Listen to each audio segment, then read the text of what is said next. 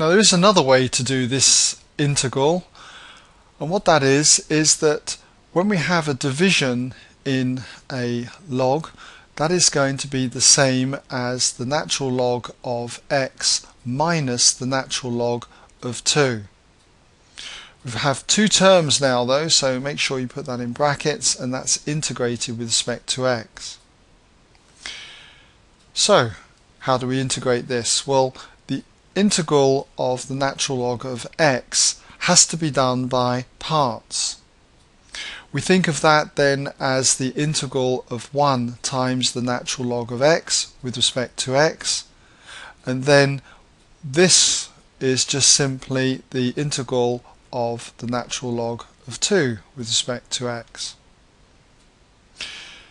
Dealing with the first integral by parts, just in case you are not familiar with by parts, then I've brought the formula up here what we have is two parts, u and dv dx, and when you're dealing with natural logs, what we do is always choose the natural log function to be the u part. So I'll pop that in there as u, and that means that the 1 is the dv dx. So just put that there, that 1 is the dv dx. You most probably oughtn't to have to do this uh, in time. You should be able to just do this by, uh, by sight. Now, according to the formula, then we have u times v. So that would be u, which is the natural log of x. Put that in brackets. Multiply this by v, v being the integral of 1, so that is x and then we have minus the integral of what we just integrated. That's the v part. That's that bit there. So just put that there.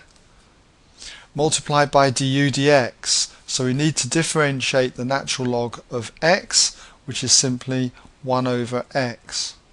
A standard result. Don't forget the dx on the end.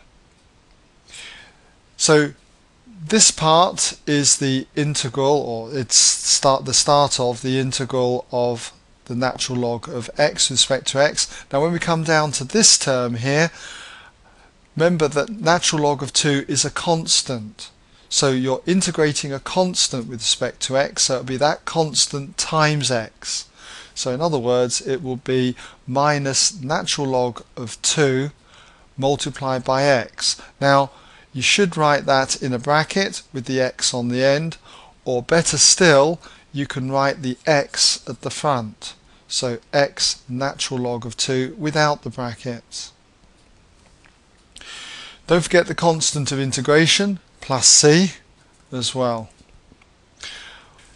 So you can see that all we need to do now is just clean this integral up so the x's cancel and so what we're left with is tidying this up we have x natural log of x x ln of x. Then we have minus the integral of 1 with respect to x and then minus x natural log of 2 plus c. So integrating the 1 is going to give just x and then we have minus x natural log of 2 plus the constant.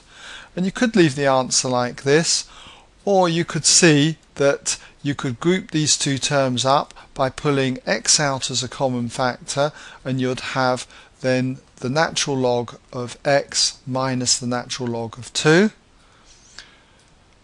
then you have the minus x on the end and then plus c. And using the subtraction rule for logs, this is the same as x natural log of x over 2, then minus the x plus c. So that gives us the result of this integral by an alternative method.